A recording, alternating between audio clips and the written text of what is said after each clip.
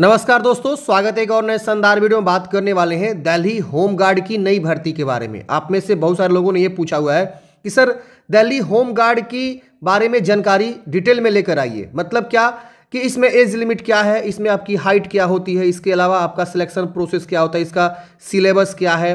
Application फ़ी फ़ी क्या है? इसके अलावा सबसे ज़्यादा यही क्वेश्चन आया हुआ है कि सर, हम क्या दूसरे राज्य से हैं तो फॉर्म को भर सकते हैं कि नहीं भर सकते हैं?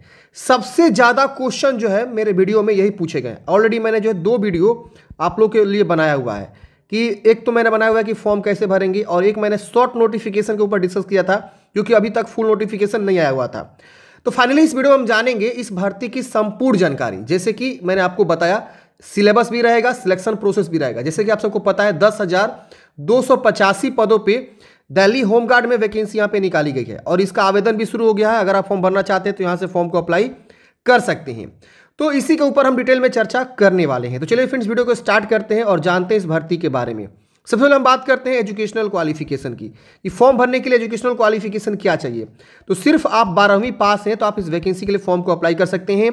मेल और फीमेल, दोनों कैंडिडेट्स यहाँ पे जो है फॉर्म को अप्लाई कर सकते हैं। कोई दिक्कत नहीं होने वाला है। इसके अलावा अगर कोई एक्स सर्विसमैन है तो वो फॉर्म भर सकता है और कोई सीएपीएफ है तो भी फॉर्म भर सकता है। लेकिन इनके लिए जो क्वालिफिकेशन बोला गया, वो सिर्फ़ और सिर्फ़ दसवीं पास यहाँ पे बोला गया है। तो क्वालिफिकेशन आप लोग समझ गए। अब हम बात करते हैं इंपोर्टेंट डेट की, कि इंपोर्टेंट डेट क्या है। तो यहाँ पे आप देखेंगे तो इंपोर्टेंट डेट इन्होंने ऑलरेडी यहाँ पे वेबसाइट पे मेंशन किया। चौबीस जनवरी से फॉर्म फिलअप स्टार्ट है। और तेरह फरवरी तक आप फॉर्म को अप्लाई कर सकते हैं। फ़ी डिपॉजिट करने का भी लास्ट डेट तेरह फरवरी ही यहाँ पे रहने वाला है। तो इससे पहले आपको फॉर्म को भरना होगा। लास्ट डेट का आपको वेट नहीं करना है, वरना लास्ट में आपका जो है वेबसाइट स्लो हो जाता है। अब हम बात बात करते हैं फ़ी स्ट्रक्चर की। तो यहाँ पे आप देखेंगे तो फ़ी स्ट्रक्चर के बारे में जानकारी दिया गया है। तो जो भी कैंडिडेट्स यहाँ पे फॉर्म भर रहे हैं, उनके लिए मात्र सौ रुपये अप्लीकेशन फ़ी यहाँ पे देना होगा। भले वो किसी भी कैटेगरी से आता हो, कोई दिक्कत यहाँ पे नहीं आने वाली है। ये आप समझ गए। अब हम बात करते हैं कि आपको सैलरी क्या मिलता है। बहुत सारे लोगों का यही कमेंट आ रहा है कि, सर, सैलरी के बारे में बताइए। सैलरी हमें क्या मिलती है? देखिए फ्रेंड्स सैलरी यहाँ पे ना कोई फिक्स सैलरी नहीं होता है। ध्यान दीजिए मेरे बातों को। कोई इसमें फिक्स सैलरी नहीं होता। ये एक वॉलेंटियर कहलाते हैं। आपको थ्री ईयर्स का जो है ना एज अ वॉलेंटियर पे यहाँ पे जो है ये सर्विस मिल रहा है। मतलब क्या कि आप अपने जो है अकॉर्डिंग यहाँ पे जो है ज्वाइन होते हैं इनरोल होते हैं। और आपको एक सेवा करना होता है, लोगों की मतलब सेवा करना होता है। पुलिस विभाग के अंतर्गत आप काम करते हैं, दिल्ली पुलिस के अंतर्गत ही आपको काम करना होता है। वो लोग जिस तरह से आपको ड्यूटी देंगे, उसी तरह से आपको काम करनी होती है।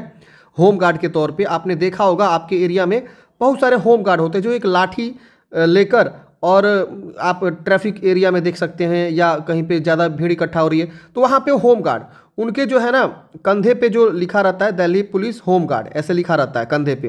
तो वही आपको जो है यहाँ पे वर्दी तो मिलेगा ही मिलेगा, समझ रहे ना? लेकिन कोई जो है यहाँ पे वो नहीं है, आप भी इसमें अप्लाई कर सकते हैं, कोई दिक्कत नहीं होने वाला। एक चीज़ और बेनिफिट्स मिल जाता है कि इसमें सैलरी आपको मिलता है, लेकिन पर डे के हिसाब से मिलता है। अगर आप काम जिस दिन करेंगे, उसी दिन मिलेगा। और जिस दिन जिस दिन आपकी ड्यूटी होगी उसी के अकॉर्डिंग जो है आपको यहाँ पे सैलरी मिलता है। तो अगर हम बेसिक सैलरी यहाँ पे मान के चलें तो यहाँ पे आपकी सैलरी जो है ना पच्चीस से तीस हज़ार के आसपास जो है स्टार्टिंग में सैलरी आपको मिल सकता है। अब डिपेंड करता है कि आपको जो है आ, किस एरिया में लगाया जा रहा है काम करने के लिए और कहाँ पर आपको जो है जॉब लोकेशन मिला हुआ है। अगर हम बात करें बिहार में होम गार्ड की तो बिहार में होम गार्ड की जो यहाँ पर सैलरी होती है मेरे हिसाब से जो है 600 से लेकर 700 रुपये पर डे के हिसाब से यहाँ पे जो है मिलता है। और जो थोड़ा ओल्ड हो चुके हैं, उनको हज़ार रुपये के आसपास जो है यहाँ पे सैलरी उनको मिलता है, जो थोड़ा पुराने हो गए हैं। तो ऐसे सैलरी होता है पर डे के हिसाब से। तो अगर तीस दिन काम करते हैं तो तीस हज़ार रुपया हुआ। सासू के हिसाब से काम करेंगे तो सात तरीके इक्कीस हज़ार रुपये। तो आप मान के चले बीस हज़ार से लेकर तीस हज़ार के बीच आपकी सैलरी जो है स्टार्टिंग में यहाँ पे हो सकती है। यहाँ पे इन्होंने सैलरी के बारे में अच्छे से डिटेल्स में नहीं दिया। सैलरी होता ही नहीं है। समझ रहे ना? हाँ लेकिन आपको पैसे मिलते हैं ऐसा बात नहीं है। आपको सैलरी मिलती है पर डे के हिसाब से। अब बात आती है फ्रेंड्स की आ, इसमें क्या होगा? सिलेक्शन प्रोसेस क्या होगा? तो इसके लिए हम जो है नोटिफिकेशन को डाउनलोड कर लेते हैं और यहाँ पे हम आपको डिटेल में समझाते हैं। सबसे पहले इसमें आपका जो है फ़िज़िकल होगा। फ़िज़िकल में क्या होगा कि फ्रेंड्स आपको पहले जो है हाइट नापी जाएगी। पहले आपकी हाइट होगी ठीक? हाइट के बाद आपकी जो है रनिंग होगी। ये दोनों आप क्वालिफाई कर जाएँगे। उसके बाद से आपका जो है रिटर्न एग्ज़ाम होता है। तो इसमें पहले आपका फ़िज़िकल होता है, लेकिन मेरिट जो बनेगा रिटर्न एग्ज़ाम के बेस पे बनने वाला है। हाँ फाइनल जो मेरिट होगा, वो सिर्फ़ और सिर्फ़ रिटर्न एग्ज़ाम के बेस पे आपका होने वाला है। तो ये चीज़ बहुत ज़्यादा मैंडेटरी है। तो आप यहाँ पे देखेंगे, अब यहाँ पे देखेंगे तो सारी जानकारी यहाँ पे दिया हुआ है। यहाँ पे एक्स सर्विस मैन में कौन लोग आता है? तो आर्मी नेवी एयरफोर्स के कैंडिडेट्स जो है, जो पहले से सर्व कर चुके हैं, किसी भी रैंक पे तो फॉर्म भर सकते हैं। और इम्पोर्टेंट डेट मैंने बताया, यहाँ देखिए लिखा हुआ है कि टर्म ऑफ़ थ्री ईयर्स मतलब तीन साल के लिए आपको जो है, फ़िलहाल में यहाँ पे इनरोलमेंट हो रहा है मतलब आपकी यहाँ पे जो है होमगार्ड में आपकी इनरोलमेंट हो रही है और मे बी एक्सटेंडेड दो साल के लिए और एक्सटेंड यहाँ पे किया जा सकता है, पंद्रह परसेंट के साथ, साढ़े सात परसेंट के साथ एंड सत्ताईस परसेंट रिजर्वेशन के साथ। तो यहाँ पे रिजर्वेशन जो है, यहाँ पे लगे, लागू होगा। तो यहाँ पे आप देख सकते हैं, इसके बाद से सेंट्रल पारा मिलिट्री फोर्स में अगर कोई कैंडिडेट्स जो है ऑलरेडी सर्व कर चुका है, वो भी यहाँ पे फॉर्म को भर सकता है। अब बात आती है एलिजिबिलिटी की। क्या हम अदर स्टेट से हैं तो फॉर्म को भर सकते हैं कि नहीं भर सकते हैं? ये आप लोगों ने बहुत ज़्यादा क्वेश्चन किया हुआ है तो पहले समझिए। देखिए, ये वैकेंसी जो है ना, दिल्ली के लिए है। यहाँ लिखा हुआ सिटीजन ऑफ़ इंडिया होना चाहिए and residence of national capital territory of India मतलब क्या? कि आप इंडिया के निवासी तो होने ही चाहिए, साथ ही साथ आप दिल्ली के भी निवासी यहाँ पे होने चाहिए तो ही आप फॉर्म को अप्लाई कर सकती हैं। दिल्ली के निवासी होने का क्या प्रूफ यहाँ पे मांगा गया है? आप देख सकते हैं proof of residence of Delhi. इसमें से कोई भी एक जो है फॉलोइंग डॉक्यूमेंट्स आपके पास है तो ये प्रूफ ऑफ़ दिल्ली रेसिडेंस आप जो है माने जाएँगे। जैसे कि यहाँ देख सकते हैं valid passport election commission ID photo मतलब एक voter ID card current and valid ration card आपके पास कोई राशन कार्ड हो जिस पर आपका नाम फोटोग्राफ अच्छे से मेंशन हो। इसके बाद से यहाँ पे ड्राइविंग लाइसेंस आपके पास है issue by G N C T Delhi तो आप यहाँ पे एलिजिबल रहेंगे फॉर्म भरने के लिए। मतलब इसमें से कोई एक डॉक्यूमेंट्स आपको जो है ना proof for residence of Delhi के लिए आपको देना होगा। इसके अलावा बैंक पासबुक भी आप दे सकते हैं। बैंक पब्लिक सेक्टर बैंक का कोई भी अकाउंट हो, जिस पर आपका फ़ोटो और आपका रेसिडेंशियल एड्रेस प्रूफ लिखा हो। इसके बाद से आपका जो है कोई भी एक वैलिड सर्टिफिकेट इशू हो authorise government authority of revenue department के द्वारा। तो आप फॉर्म को भर सकते हैं, जिस तरह से निवास प्रमाण पत्र हो गया और जो भी डॉक्यूमेंट्स होता है। तो ये आपका एलिजिबिलिटी है। मतलब क्या कि इसमें से अगर आपके पास कोई डॉक्यूमेंट्स है तो आप दिल्ली के निवासी कहलाएँगे, नहीं है तो आप एलिजिबल नहीं है। समझ रहे ना? तो ये बहुत इंपॉर्टेंट बात है। मतलब क्या कि अदर स्टेट वाले यहाँ पे फॉर्म को अप्लाई नहीं कर सकते हैं। अगर आप किसी दूसरे राज्य से हैं तो आप यहाँ पे फॉर्म को अप्लाई नहीं कर सकते हैं। अब बात आती है एज लिमिट की। तो 20 से 45 वर्ष की यहाँ पे उम्र सीमा जो है रखी गई है। जिसका डेट ऑफ़ बर्थ का यहाँ पे देखेंगे तो रेंज भी दिया हुआ है। इस रेंज के अंतर्गत आप आते हैं तो आप फॉर्म को अप्लाई कर सकते हैं। इसके अलावा जो एक्स सर्विसमैन है और जो सीएपीएफ के कैंडिडेट्स हैं, उनके लिए अपर एज जो है, बीस वर्ष से लेकर चौवन वर्ष के बीच यहाँ पे रखा गया है। ये जो भी आपकी एज की गणना की, करनी है, वो आपका एज की गणना यहाँ पे देखिए दिया हुआ है। लास्ट डेट जो कट ऑफ़ है, एक एक 2024 को आपको करना है। मतलब क्या? कि आप एक एक 2024 को अपनी एज की गणना करेंगे कि क्या आप जो है इसके इसके बीच आ रहे हैं कि नहीं आ रहे हैं? या 20 से 45 वर्ष के बीच आप आ रहे हैं कि नहीं आ रहे हैं? ठीक है ना? तो ये आपको एज की गणना जो है करनी है एक एक 2024 को।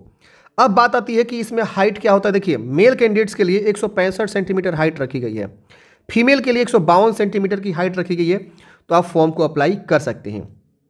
एक चीज़ यहाँ पर ध्यान दीजिएगा, ये जो भी डॉक्यूमेंट्स मांगे गए हैं आपके age limit qualification reservation bonus marks ये सब आपको जो है ओरिजिनल डॉक्यूमेंट्स वेरिफिकेशन के समय आपको देना होगा।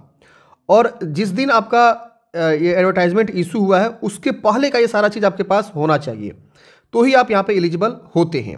यहाँ देखिए, बोला गया है कि physical measurement and efficiency test जो कैंडिडेट्स क्वालिफाई कर जाएगा, उसी को जो रिटर्न टेस्ट के लिए यहाँ पे अपियर होना है।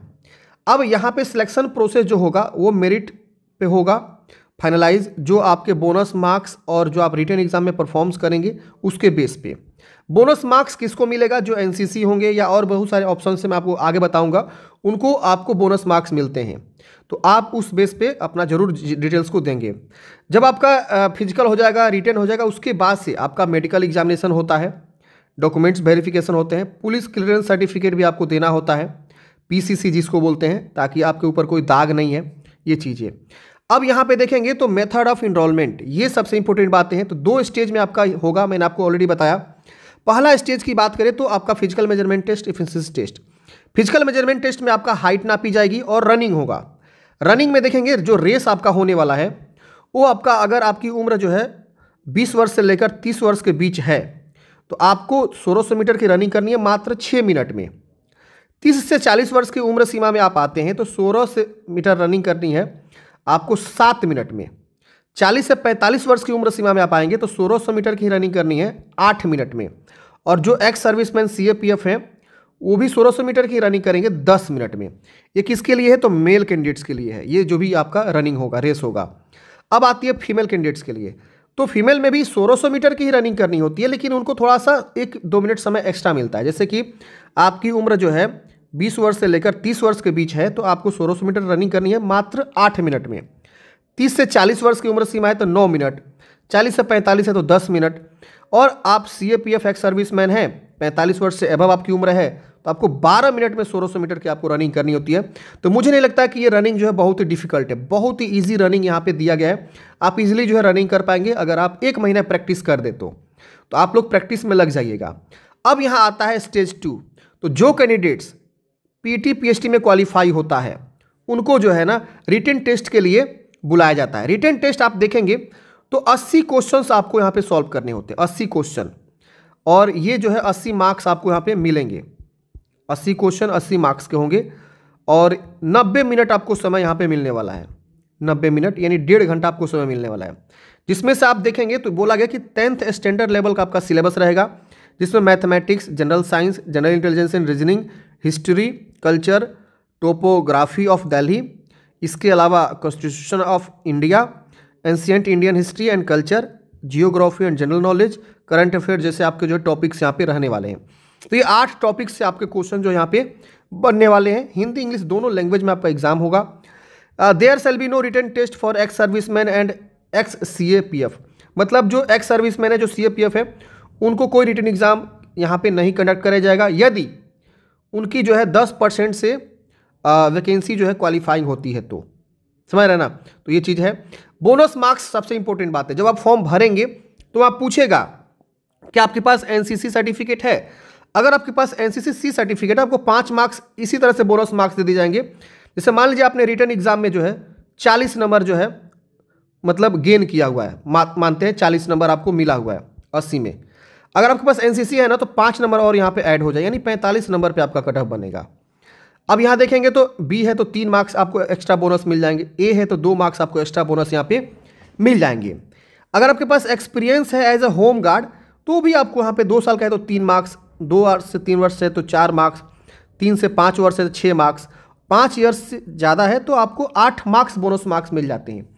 तो आप लोग ज़रूर मेंशन करिएगा अगर आप इस तरह के कैंडिडेट्स हैं तो। और इसका सर्टिफिकेट भी आपको लगेगा डॉक्यूमेंट्स वेरिफिकेशन समय में। ये मत बोलिएगा कि हमने सर्टिफिकेट मेरे पास नहीं है। नहीं, आपको सर्टिफिकेट प्रोड्यूस करना होगा, तभी तो आप वो लोग वेरीफाई करेंगे हाँ आप जो है होम गार्ड है या ऑलरेडी एनसीसी में काम किए हैं मतलब एनसीसी का ट्रेनिंग लिए हैं। इसके अलावा इन सिविल डिफेंस में एक्सपीरियंस है आपके पास तो उसके लिए भी अलग से यहाँ पे बोनस मार्क्स दिया गया है, कितने कितने साल का एक्सपीरियंस है उस हिसाब से। तो आप लोग ज़रूर मेंशन करिएगा, ये रिटेन एग्ज़ाम के जो होते हैं ना, उसमें आपको बोनस मार्क्स जोड़ते हैं, और उसी बेस पर आपका सिलेक्शन यहाँ पे होता है। इसके अलावा आप देखेंगे तो यहाँ पे हैविंग सर्टिफिकेट अगर आपके पास जो है मिनिमम दो साल का जो है सिविल डिफेंस एडवांस कोर्स में आपने सर्टिफिकेट हासिल किया हुआ है तो आपको तीन मार्क्स मिलेंगे। या आपने जो है having part time instructor course आपने कर रखा हुआ है तो आपको तीन मार्क्स एक्स्ट्रा मिल जाएँगे। तो ये सब पूछे जा रहे हैं फॉर्म भरते समय। बात करते हैं डॉक्यूमेंट्स एंड बोनस मार्क्स की। तो आपको डॉक्यूमेंट्स ओरिजिनल डॉक्यूमेंट्स वेरिफिकेशन समय में आपको लगेंगे, जैसे कि आप अगर रिजर्वेशन क्लेम करते हैं तो एस सी सर्टिफिकेट आपको लगेंगे। इसके अलावा आपको जो है रेसिडेंस प्रूफ मैंने आपको बताया, उसमें से कोई एक डॉक्यूमेंट्स आपको लगेंगे रेसिडेंस के प्रूफ में। आप जो बोनस मार्क्स ले रहे हैं, जैसे कि मैंने बताया इसमें से कोई तो इसका सर्टिफिकेट आपको यहाँ पे देना होगा। इसके अलावा आपको मैट्रिक इंटर का सर्टिफिकेट आपको देना होगा। तो ये सारे डॉक्यूमेंट्स आपको लगते हैं। निवास प्रूफ के तौर पे मैंने आपको बता ही दिया, वो आपको लगेंगे। तो ये जो है आपका होता है। अब यहाँ लिखा हुआ है the final merit list for the enrolment will be made on basis of total marks obtained in written test मतलब आप रिटर्न टेस्ट में जो ऑप्टेंट करेंगे मार्क्स प्राप्त करेंगे। उसके बेस पे आपका फाइनल मेरिट लिस्ट बनेगा एंड बोनस जो आपका होगा, उसके बेस पे आपका यहाँ पे फाइनल मेरिट लिस्ट बनने वाला है। तो यही चीज़ है। आई होप आप लोग समझे होंगे इस भर्ती के बारे में। इसके अलावा आपका मेडिकल एग्ज़ाम होता है। मेडिकल एग्ज़ाम आपका नॉर्मल होता है, आप यहाँ पे देख सकते हैं। इसके बाद अप्लीकेशन फ़ीस सौ रुपया है, यहाँ पे दिया गया है। और हाउ टू अप्लाई तो मैंने एक फॉर्म भरने का प्रॉपर एक वीडियो बनाया हुआ है कि कैसे आपको फॉर्म को भरना है, वो वीडियो नहीं देखे। तो देख लीजिएगा, आपको मेरे इसी चैनल पर मिल जाएगा, आप जाके चेक करिए। तो आई होप मैंने आपको जो सारे क्वेश्चन को जो है सॉल्व करने की कोशिश किया हुआ है, जो भी मैंने आपको बताया। Age limit height running salary इसके अलावा सिलेबस एग्ज़ाम पैटर्न और अप्लीकेशन फ़ी टोटल सीटों की मैंने बताया डॉक्यूमेंट्स रिक्वायर्ड में बताया। और सबसे जो ज़्यादा क्वेश्चन पूछे गए थे कि क्या हम दूसरे राज्य से हैं तो अप्लाई कर सकते हैं कि नहीं कर सकते हैं तो ये भी मैंने आपको जो है कवर करके यहाँ पे बता दिया है। आपके मन में इसके अलावा कोई भी डाउट्स है कमेंट है कमेंट बॉक्स में पूछ सकते हैं। और वीडियो अच्छा लगे तो प्लीज़ लाइक कर दीजिएगा, अपने दोस्तों को भी ज़रूर शेयर कर दीजिएगा। बहुत सारे लोग ये पूछ रहे थे कि सर, क्या हम मोबाइल से फॉर्म भर सकते हैं? जी हाँ भर सकते हैं। आपके पास मोबाइल हो, लैपटॉप हो, कंप्यूटर हो, जिसके थ्रू भी आप फॉर्म भरना चाहते हैं, फॉर्म को भर सकते हैं। अगर आप चाहते हैं कि मोबाइल से कैसे फॉर्म को भरना है, कमेंट बॉक्स में आप हमें बता सकते हैं। मैं उसके ऊपर भी प्रॉपर एक वीडियो लेकर आने की कोशिश करूँगा। तेरह फरवरी लास्ट डेट है, फॉर्म ज़रूर भर लीजिएगा। मिलते हैं नेक्स्ट वीडियो में। जय हिंद।